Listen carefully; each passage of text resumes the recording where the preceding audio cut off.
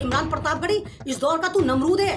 खुदा तुझे गारत करेगा। मैं तो अल्लाह से दुआ मांगती हूँ, इस रमज़ान में अगर वो खुदा बाकी सबकी सुनता है मेरी सुनता है तो खुदा तुझे गारत कर दे।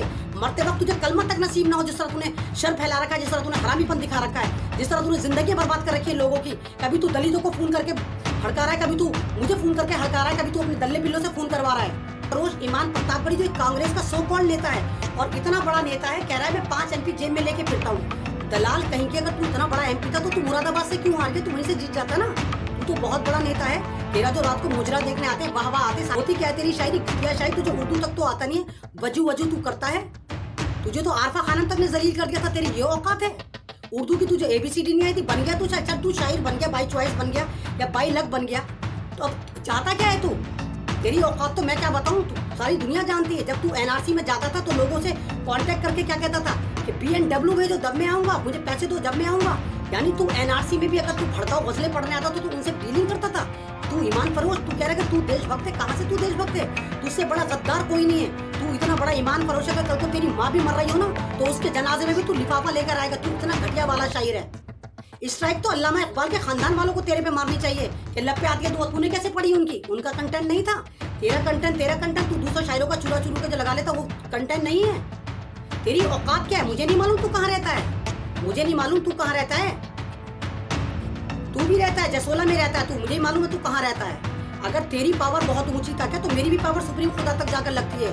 जी अलैक्म मैं आपके सामने अमन रिजवी जैसे कि आप जानते हैं, माहौल कैसा चल रहा है, लेकिन मैं आज इस माहौल पे नहीं बोलने आई हूँ।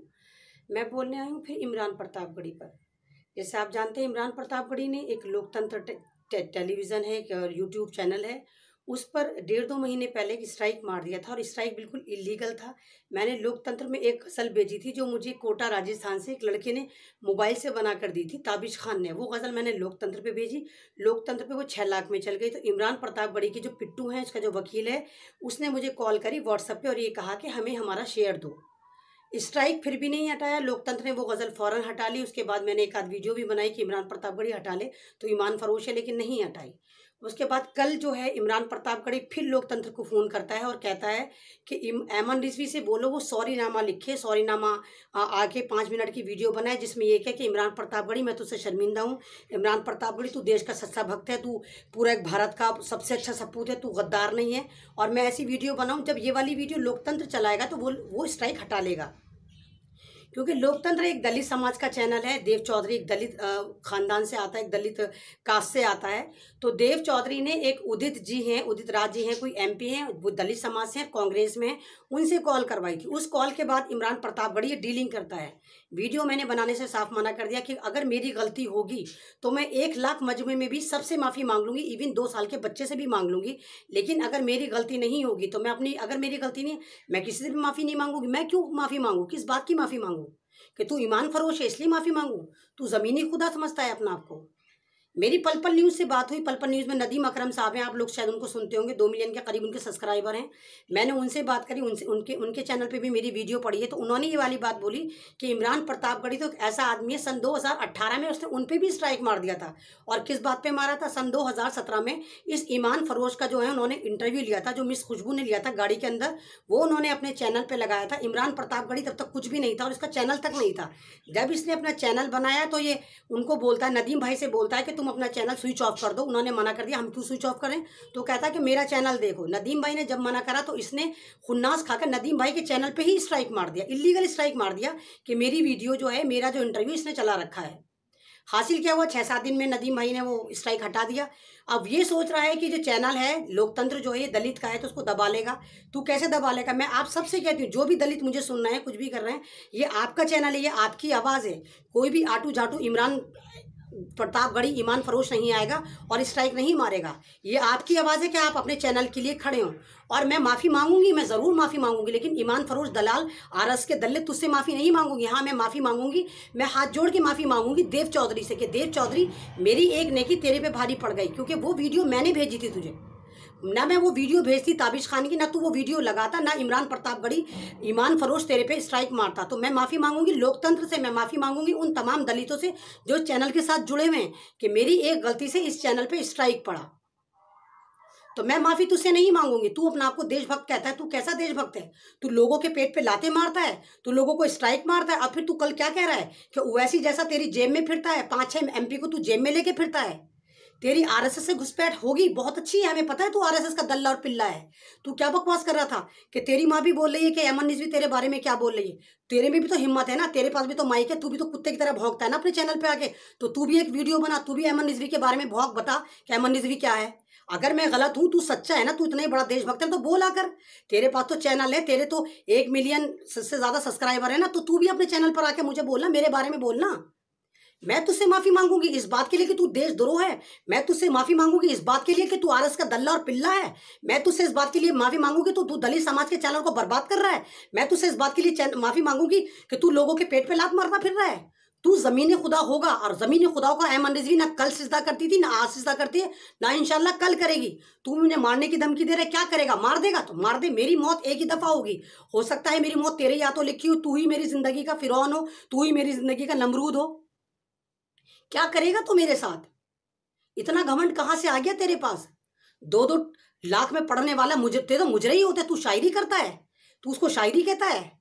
गज़ल तेरी नहीं थी, अल्लामा इकबाल के मिसरे थे, लप पे आती है दुआ जो उस लड़के ने पढ़ी थी।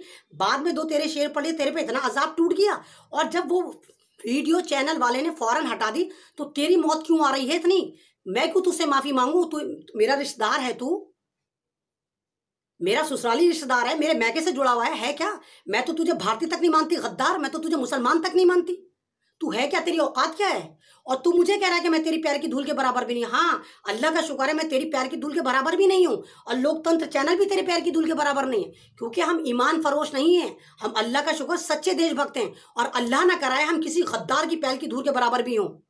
सुधर जा अब भी अब भी तेरे पास वक्त है। नहीं तो अगली एफ़ आई आर मैं तेरे पे कराऊँगी। बता रही मैं, तूने बहुत मेरी ज़िंदगी हराम कर दी। कभी तू किसी से व्हाट्सएप पे कॉल करवाता है, तभी किसी से व्हाट्सएप पे कॉल करवाता है। अब तू देव चौधरी को डरा रहा है, धमका रहा है।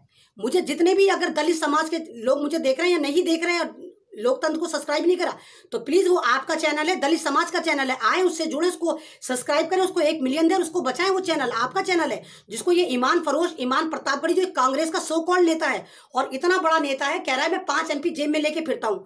दलाल कहीं के, अगर तू इतना बड़ा एमपी था तो तू मुरादाबाद से क्यों हार गया? तू वहीं से जीत जाता ना। तू तो बहुत बड़ा नेता है। तेरा जो रात को मुजरा देखने आते हैं वाह वाह आते सारे मदरसे से पास आउट ही होंगे जो तेरे वाह वाह करने, रात को तेरे मुजरा देखने आते हैं, मुशायरा करने, देखने आते हैं तेरा। होती क्या है तेरी शायरी? घटिया शायरी तुझे उर्दू तक तो आता नहीं है। वज़ू वज़ू तू करता है। तुझे तो आरफा खानम तक ने जलील कर दिया था, तेरी ये औकात है।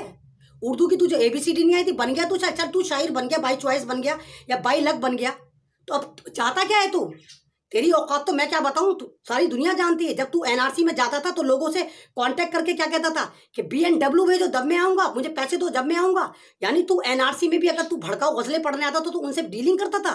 तू ईमान फरोश, तू कह रहा है कि तू देशभक्त है। कहाँ से तू देशभक्त है? तुझसे बड़ा गद्दार कोई नहीं है। तू इतना बड़ा ईमान फरोश अगर कल को तेरी माँ भी मर रही हो ना तो उसके जनाजे में भी तू लिफाफा लेकर आएगा। तू इतना घटिया वाला शायर है। स्ट्राइक तो अल्लामा इकबाल के खानदान वालों को तेरे पे मारनी चाहिए। कि लब पे आती है दुआ तूने कैसे पढ़ी उनकी? उनका कंटेंट नहीं था। तेरा कंटेंट तेरा कंटेंट तू दूसरे शायरों का चुरा चुरू के जो लगा लेता, वो कंटेंट नहीं है। तेरी औकात क्या है? मुझे नहीं मालूम तू कहाँ रहता है। मुझे नहीं मालूम तू कहाँ रहता है। तू भी रहता है, जसोला में रहता है तू। मुझे ही मालूम है तू कहाँ रहता है। अगर तेरी पावर बहुत ऊँची तक है तो मेरी भी पावर सुप्रीम खुदा तक जाकर लगती है। मेरे साथ भी अल्लाह का साथ है और उसका हाथ है। तू मुझे मारेगा, कीड़े मकोड़े की तरह मारे। क्या बकवास कर रहा है कि तेरे साथ सत्तर मुल्क हैं, तेरे साथ साठ मुल्क है मुसलमान ही जाते थे तेरे लोग तेरे हामी हैं। तो जब बुला ले उनको। कह दे, अमन नजवी की सुपारी दे दे, या तू ही दे दे सुपारी, तू तो बहुत बड़ा धन्ना सेठ है। ओवैसी को तू जेब में लेके घूमता है, मौलाना साहब के बारे में तूने बकवास करी है, तूने ओवैसी साहब को गालियाँ दी हैं। मैं तो हैरान हूँ, कांग्रेस कैसे कैसे लोगों को टिकट दे देती है, कैसे कैसे लोगों को अपने यहाँ घुसा लेती है? इस ईमान फरोज को घुसा रखा है? पक्का ये आरएसएस का है? क्या कह रहा है? ढाई सौ चैनल पे तू स्ट्राइक मारता है रोज़ाना, तुझे और कुछ काम नहीं है? भड़वे तू बस स्ट्राइक ही मारता रहता है, बैठा हुआ। कभी तू पल पल में मारेगा, कभी तू लोकतंत्र पे मारेगा, कभी तू किसी पे मारेगा, कभी तेरा खर्चा पानी इसी से चलता है क्या? हलाल की खाने की तुझे आदत नहीं है क्या हराम खोर रमज़ान में तो कम से कम चैन से बैठ जा, कुत्ते कहीं के। तू धमकियाँ दे रहा है? तू लोकतंत्र को बंद करने की फिर धमकियाँ दे रहा है कि दूसरा स्ट्राइक मार दूँगा देव चौधरी? अगर तूने एमन रिजवी का माफ़ी नामा या माफ़ी की वीडियो नहीं लगाई, चल जा, मैं नहीं लगा रही बंद कर दे। और मैं दलित समाज से कहती हूँ ये आपके ऊपर बात आ रही है, आपके चैनल पर बात आ रही है। एकजुट होकर अपने लोकतंत्र चैनल को बचाइए। मेरा इसमें कुछ वो नहीं है, मेरा कोई इसमें लालच नहीं है। हाँ मैंने नेकी करी थी, मैंने ताबिश खान की गज़ल लेके लोकतंत्र को दी थी। मेरा कोई लोकतंत्र से कोई लेना देना नहीं है। मेरी वीडियो हर जगह जाती है तो लोकतंत्र में भी चली गई थी। तू मुझसे माफ़ी मंगवाएगा। तू होता कौन है, मैं तुझसे माफ़ी मांगूँगी? दो दो कौड़ी की इज़्ज़त नहीं है आरस के टट्टू मेरी नज़र में तेरी। है क्या तू? तो? तेरी औकात क्या है? करेगा क्या तू? मुझे मरवा देगा? तेरे टट्टू पिट्टू मेरे व्हाट्सअप पे आके एसएमएस कर रहे हैं कि मुझे मरवा देंगे, मुझे रेप करवा देंगे कर चल करवा दे। नौज बिल्ला तू खुदा बन गया, फिरौन है तू, फिरौन, इस दौर का फिरौन है तू। ईमान फरोज इमरान प्रतापगढ़ी इस दौर का तू नमरूद है। खुदा तुझे गारत करेगा। मैं तो अल्लाह से दुआ मांगती हूँ, इस रमज़ान में अगर वो खुदा बाकी सबकी सुनता है मेरी सुनता है तो खुदा तुझे गारत कर दे। मरते वक्त तुझे कलमा तक नसीब ना हो, जिस तरह तूने शर फैला रखा है, जिस तरह तूने हरामीपन दिखा रखा है, जिस तरह तूने ज़िंदगी बर्बाद कर रखी है लोगों की। कभी तू दलितों को फ़ोन करके हड़का रहा है, कभी तू मुझे फ़ोन करके हड़का रहा है, कभी तू अपने दल्ले पिल्लों से फ़ोन करवा रहा है। कर तुझसे जो होता है तू कर ले। मैं भी यही हूँ, तू भी यही है। कर जो तुझसे होता है, कर ले।